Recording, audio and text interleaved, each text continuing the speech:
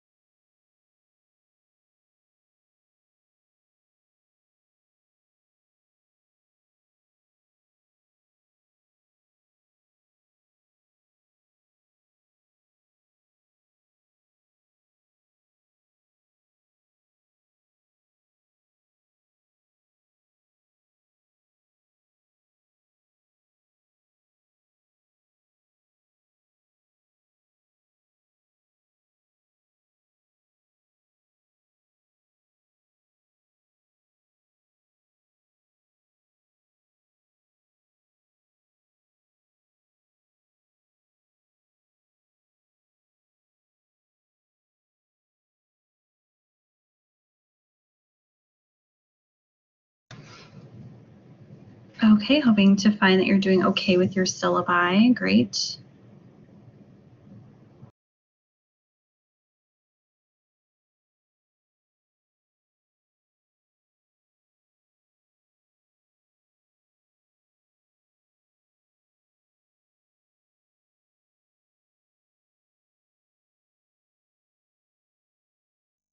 and looking for ways to make sure all students get the information they need from your syllabus. Great. All right, so um, one more thing that I like to do in my online synchronous classes um, is just kind of gauge the mood of the room, the online room. Um, oh, and Zach, you want to learn more about how to maximize the quality of your syllabi. Great. Um, so what I do is a, a little check-in. So just share an emoji. There's a little emoji icon um, next to bold, italic, underline um, in the chat. And just select an emoji that best represents how you're doing today, how you're feeling at the moment. Um, and it can be, you know, positive or negative or neutral.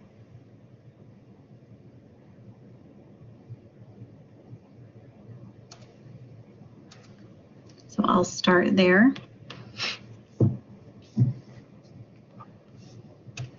And this is a good way just to kind of get your students to to get started in the class without having to talk too much, um, whether that be via text or uh, talking with their microphones, which they might be reluctant to do, and depending on the time of the day, they might be feeling a little burnt out or not quite awake yet.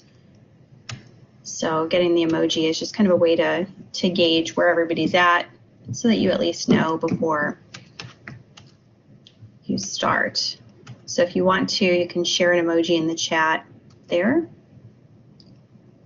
And as you're doing that, I'm just going to move on to the workshop objectives so we can keep the workshop moving along. So in this workshop, we're going to discover some practical strategies uh, for how to define universal design for learning, to distinguish between non-accessible and accessible elements of a syllabus, and to use some basic tools and strategies to create an accessible syllabus.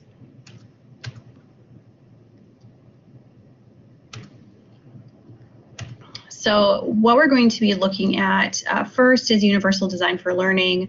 Um, and this has to do with uh, the why of learning, the what of learning, and the how of learning. So the why of learning is engagement. Uh, for purposeful, motivated learners, you want to stimulate interest and motivation for learning. Uh, the what of learning is representation. So re for resourceful, knowledgeable learners, present information and content in different ways.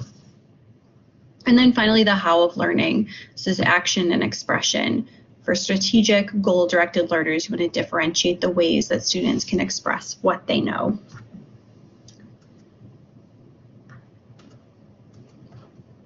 So universal design of learning. Um, to provide just a bit of a background and foundational information, we'll just discuss universal design.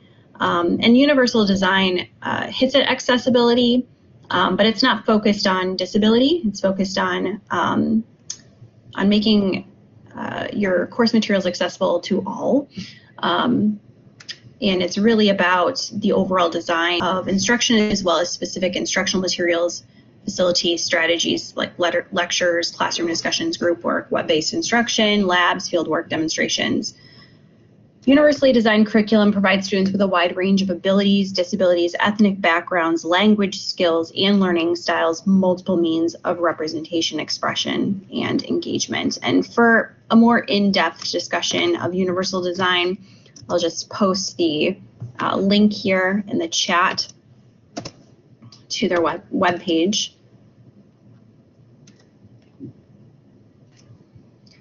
So Universal Design for Learning, or UDL, provides a framework to create and implement lessons with flexible goals, with methods, materials, and assessments that support learning for all students.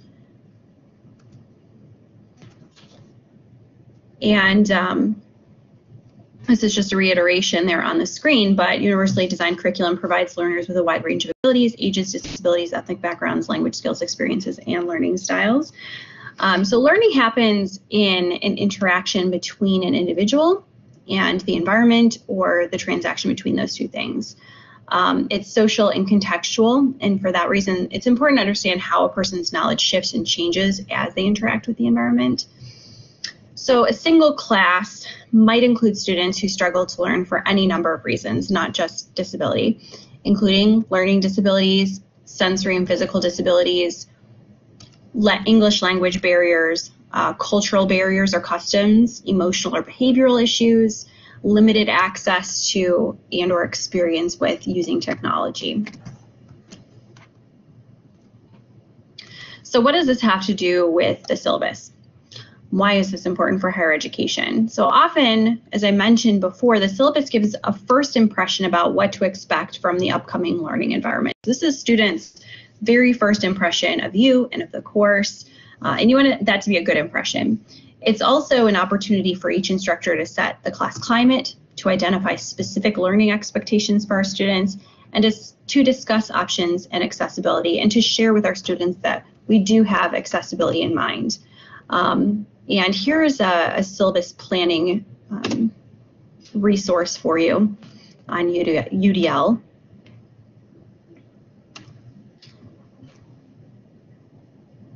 All right, so how do each one of these different aspects of UDL uh, connect to the syllabus? And I, I, went over what these were before. Um, but the affective network, so we'll start at the end and uh, all the way at the right and kind of work our way back. The affective network was to provide multiple means of engagement. So this is where we can outline the learning goals and objectives for our students, the relevance of the content, and any opportunities for choice within the course. Um, so in other words, uh, are they going to be given or how are they going to be given a choice for how they uh, demonstrate their learning in your course? So what options will there be? Strategic network is there in the middle. Uh, that provides multiple means of action and expression. So you can use the syllabus to communicate regular routines, to establish expectations, to outline the timing and format of the assessment and offer resources for the management of that information. And then the one all the way on the left here, recognition network, that provides multiple means of representation. So be explicit about the ways in which students can access their content. For example, will there be a textbook? Are there going to be slides shared? Uh, course website, any videos, uh, and where to find background information and multiple examples to help reinforce their learning. So shifting to uh, specifically to accessibility, um, we want to include in our syllabus resources and statements that address students with differing needs. Um, so the one that is required is the Americans with Disabilities Act statement. Um, we can also include, and I'll give you these links as well in just a second. Um, producing, we've got a lot of resources online, but producing, developing, maintaining, and using technology is one. Uh, bystander intervention statement, counseling and consultation services, disability resource center, uh, the gender and sexuality resource center, our non-discrimination policy, and also the trauma services clinic. Um, so NIU's campus, we welcome all students. We're committed to providing a range of specific uh, student needs and accommodations. The U.S. Department of Education and Higher Learning Commission requires that all courses have a syllabus that's made available to each student enrolled in each course by the first class meeting. Um, at minimum, regarding students' accommodations, all syllabi, at least one with, within the NIU campus, have to include that, as I mentioned, Americans with Disability statement. Um, and within that ADA statement, you can also add a statement requesting that students with disabilities contact you regarding accommodation needs. Um, and they uh, make sure that they know that they do not need to um, divulge any disability um, specifics to you. Uh, the Disability Resource Center is where they would go for specific accommodations for their disability. There are other ways that NIU accommodates its students. As you can see with these statements and these resources, um, you could include a statement that says something about how student success is important to you, that any student who has any circumstance that might have some impact on their work in the class and for which they might require special accommodations contact you early in the semester so accommodations can be made in a timer. So let me give you um, these resources here. So here is our disability statement and our technology accessibility um, procurement policy. Oops. Accidentally shared that second one twice. Here it is. Oops. I don't know why I keep sharing that one. Um, sexual misconduct, uh, violence prevention, our counseling website, our non-discrimination policy,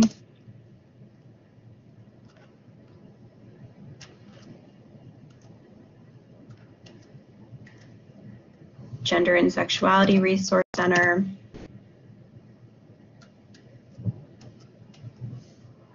and our Trauma Services Clinic. Let me see if I can get that first one. It keeps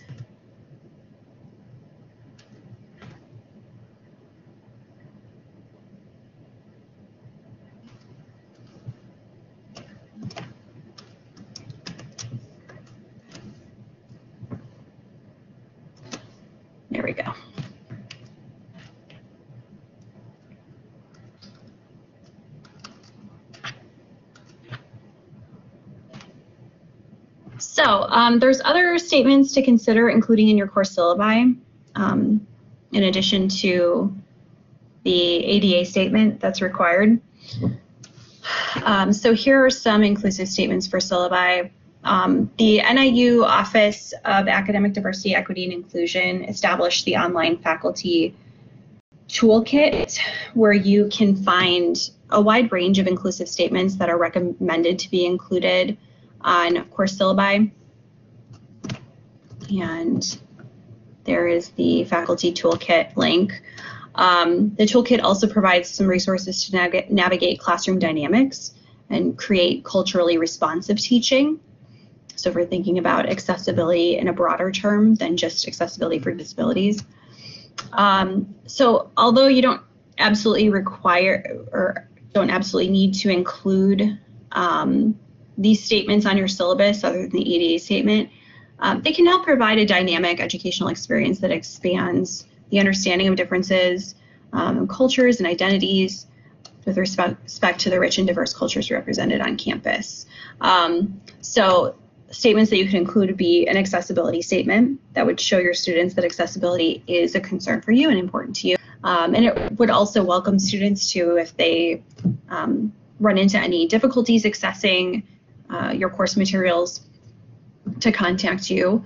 Uh, there's also a multilingual student statement, a name and pronoun statement, a student sexual misconduct policy, a statement um, towards um, or addressing undocumented students, and then there's a lot of other resources, as I mentioned, in the Diversity, Equity, and Inclusion Faculty Toolkit.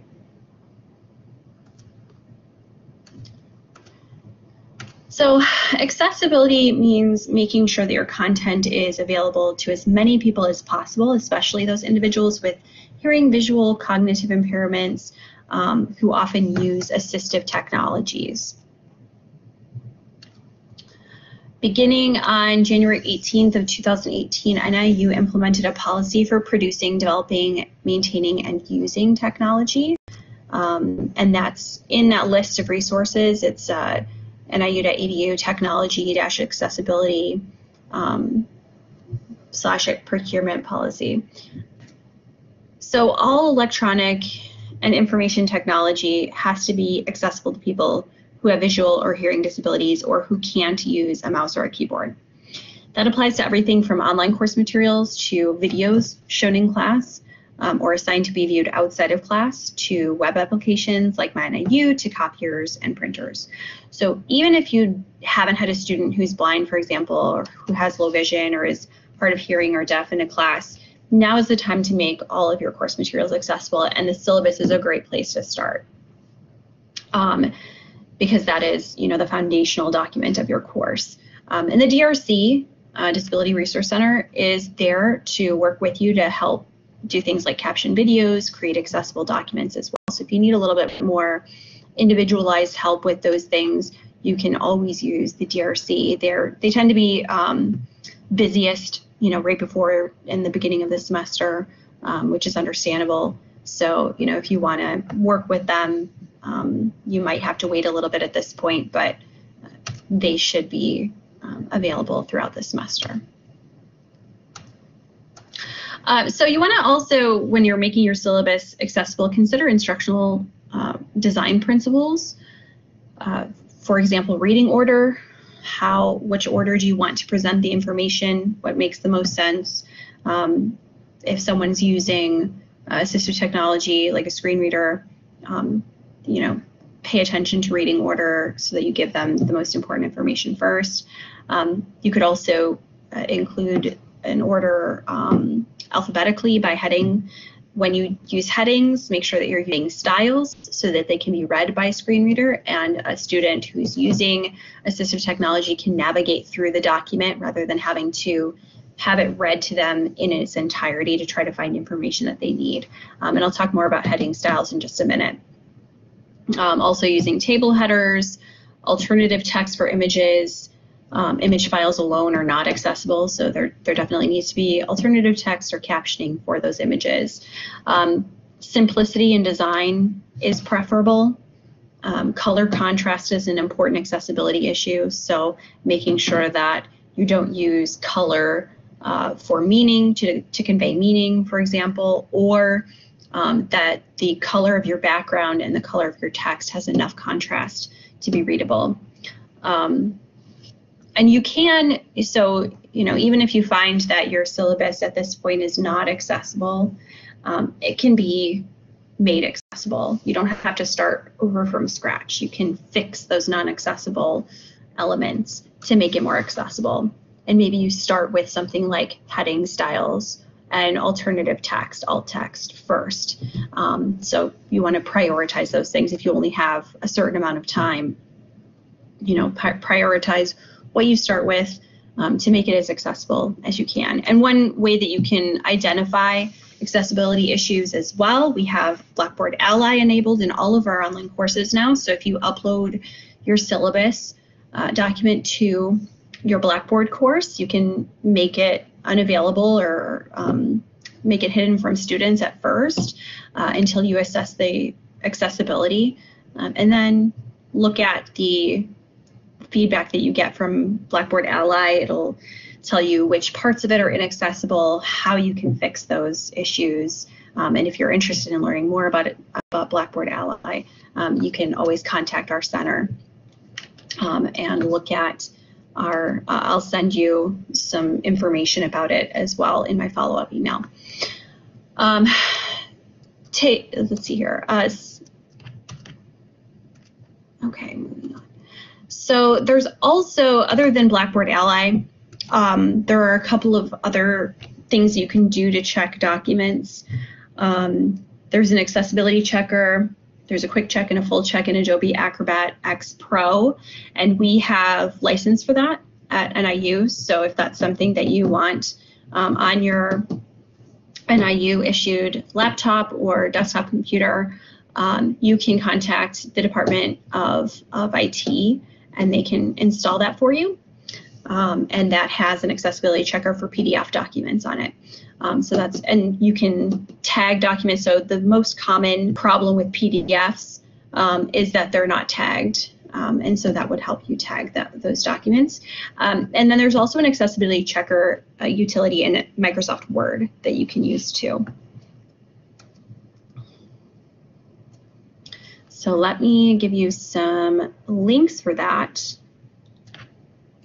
So here's one for um, using the accessibility checker for Acrobat. And then here is one for Microsoft Word documents, making those accessible to people with disabilities. So just a couple of resources there for that. Um, and let me make sure that I have shared. Okay, and then the ethics, compliance, technology, accessibility um, link as well, because I don't think I've shared this one yet either. And I'll send these all out to you as well, but if you want to get started on them before I'm able to get my follow-up email later this afternoon, then those are there for you in the chat.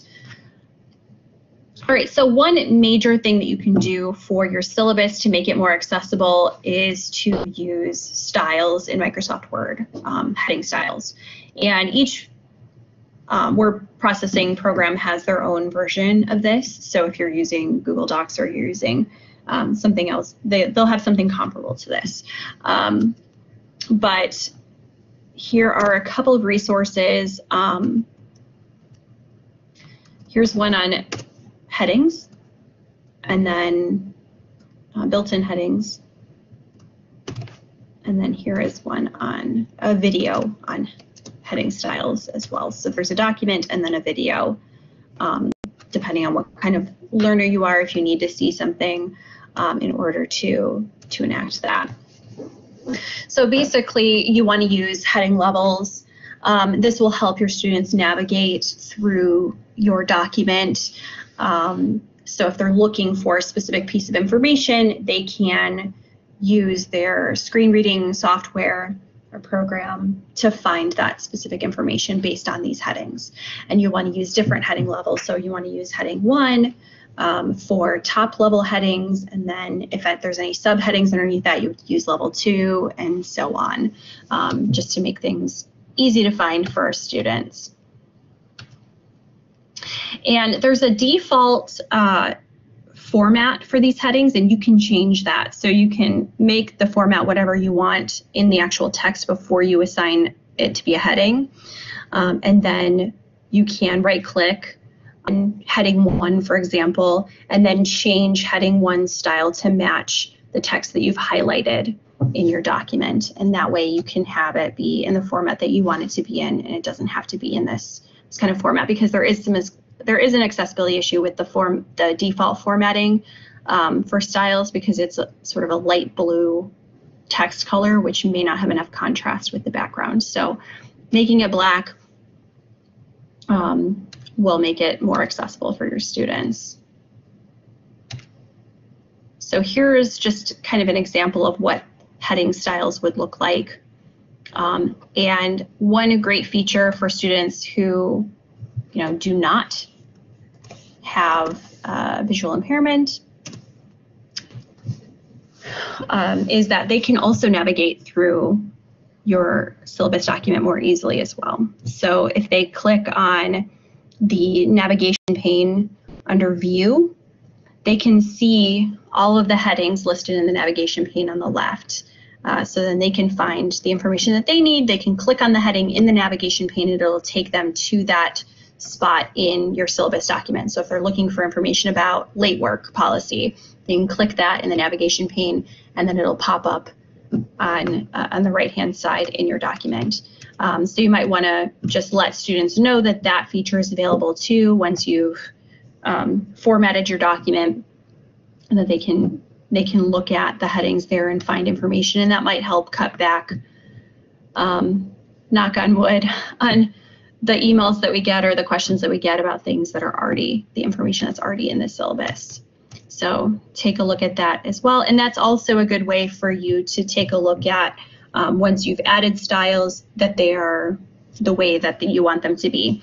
And it's also a good way if you want to reorganize your um, syllabus, you want to reorganize where things go in the syllabus, you can drag and drop those uh, headings in the navigation pane to where you want them to, the order that you want them to be in, and it'll change it in your document too. So it's a lot easier than just going through and trying to copy and paste things and then headings can get messed up or formatting can get messed up. That's a, a lot easier way to just re reorganize your syllabus and to make sure that it's in uh, that it's got an organization that um, is understandable and easy to use for students I used to put things in priority order of what I thought was most important.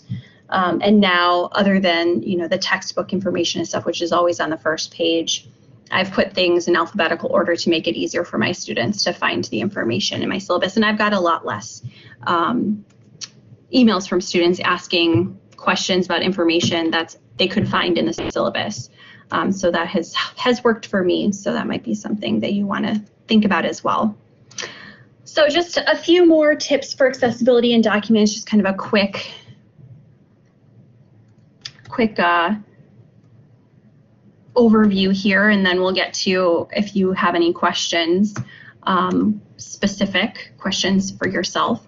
Um, so alt text is important. Any image, picture, clip art, chart table, uh, shapes, embedded objects, video, audio files. I know sometimes we um, especially for an online class, I like doing um, a syllabus overview video. Um, so we want to have some sort of alternative text, um, alt text for images, and then captioning or transcripts for video and audio files. Um, so make sure that you have that so that anybody can access that information. Otherwise, you know, if you've got an image that conveys important information, someone who's using a screen reader is not going to be able to access that information, so it's not accessible. Um, same for you know video. If there's someone with a with you know who's deaf or um, has a hearing impairment, they won't be able to access that information if it's not captioned. And the DRC can help you with captioning as well, um, or you can use something like Kaltura, which auto captions. Then you can go in and edit captions um, or YouTube, which also auto captions. Uh, styles, as I mentioned, use the uh, your word processing programs built-in or custom style menus to create titles, headings, lists. Um, whenever possible, use those heading styles in numerical order. Um, so heading style level one should be, you know, the first heading style, and then any subheading below that would be level two. Subheading below level two would be level three. Um, and also when you're creating lists, try to limit your use of fancy or, or customized bullets. Um, round bullets are recognizable or read by screen readers, whereas different kinds of ones like a check mark or um, you know some little picture uh, might not be recognizable by screen readers. So just be aware of that. Um, also make sure that you specify column header rows in your tables. If the table breaks across pages, make sure that you've checked the box to enable the header row to also appear on each new page. Um, and make ensure that there's a simple structure of rows and columns. Um, and I'll send uh, a document um, or a resource about accessibility in tables. Um, if something can, the, the easiest way to do this is if something can be, if information can be presented linearly rather than in a table, try to do that. If you absolutely need tables, then make sure that they are accessible because um, there are some specific accessibility issues with tables. Um, also use descriptive hyperlinks. Um, so rather than using kind of the hyperlinks like I've given you them in the chat there, you want to use a descriptive hyperlink. Um, unfortunately, the chat does not allow me to use descriptive hyperlinks, but you can in your document. Um, so if it's a document that's meant to be printed out, using URLs um, would be preferable because if someone's going to print it out, they can't click on a descriptive link.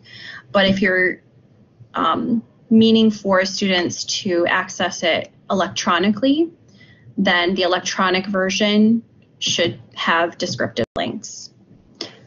So for example, um, instead of having a whole URL spelled out, which a screen reader would read out the entire URL, um, you want to have a descriptive link. So um, for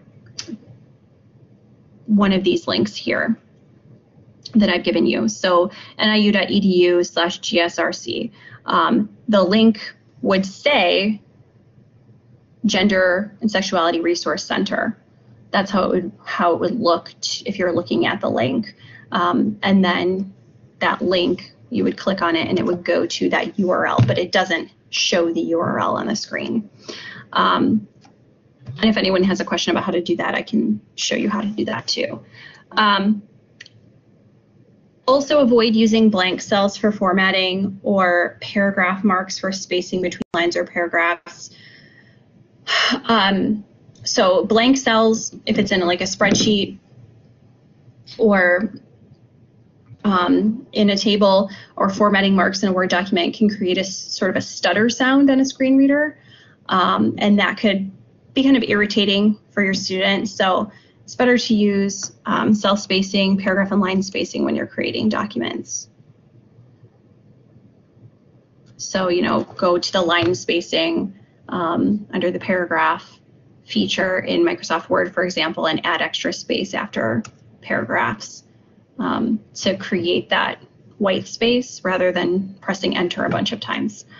Um, also, as I mentioned before, you can utilize accessibility check tools. Um, most programs have their own accessibility checkers. Um, the availability of those depend on the version that you have. So you've got Microsoft's uh, accessibility checker, but for Adobe Acrobat, you need Adobe Acrobat X Pro, um, which I mentioned you can get through uh, DoIT, Department of IT at NIU if you have an NIU computer, um, so you can access that accessibility checker, or you can use um, the Blackboard Ally accessibility um, resources in Blackboard. Um, and then you can also add an accessibility disclaimer notice, so that tells readers who to or to contact you for assistance with your document if they have difficulty reading or understanding it, or if they have difficulty um, with accessibility issues, they can contact you. And then you can also give them information about the Disability Resource Center as well and their services. All right, so that was all a lot of information. Um, does anyone have any questions? I know that's a lot. Um, any specific questions that you have about your course syllabus or questions about any of the information that I've provided today? Like I said, I'll give you some of these these resources in a follow-up email this afternoon. But if you have questions for me, um, I will mute myself and let you think. You can post the chat or you can unmute yourself and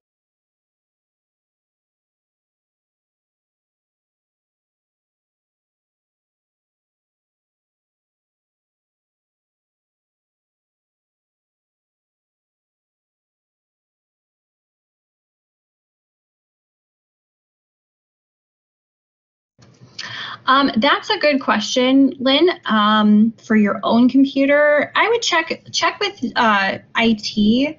Let me get you their contact information. Um, they might be able to add that for you to your personal computer.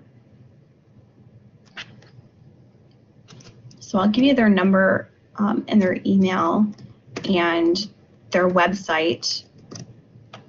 So there's that. I think we do have an accessible syllabus template. Let me find that for you and I will send it to you in my follow-up email.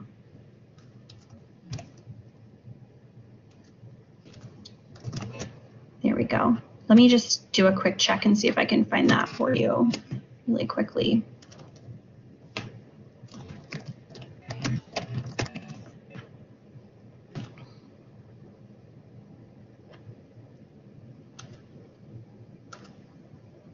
Welcome. Let's see here.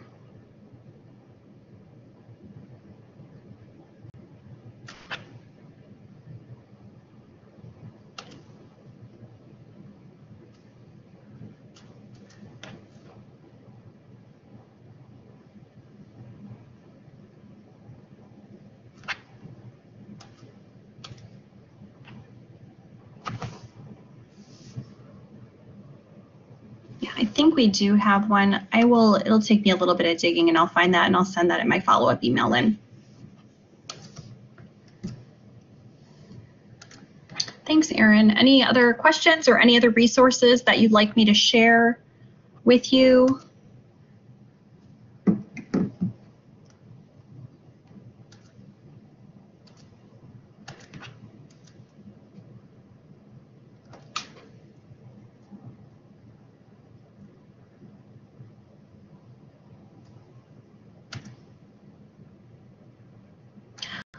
Okay, well, if no one has any other questions, thank you so much for attending today's presentation. If you think of anything, feel free to respond to my follow-up email um, with any individual questions that you have. Um, but otherwise, uh, have a great semester and um, feel free to contact CITL or me personally with any issues. Thanks.